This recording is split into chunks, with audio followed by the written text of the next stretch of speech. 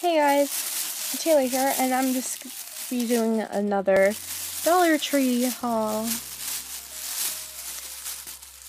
So, there's, so the first item I got was this, the LA Colors Color Craze, and this is in Hot Blooded. And this is the color that I got picked out. That was cute.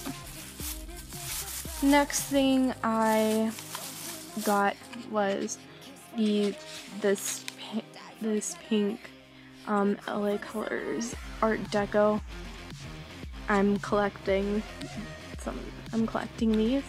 So this is in popping And the last item I got is this LA Colors lip lip color in nectarine.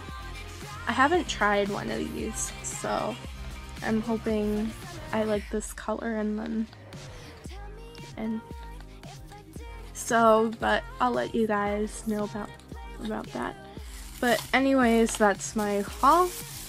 I hope you enjoyed watching this and I'll see you next time. Bye!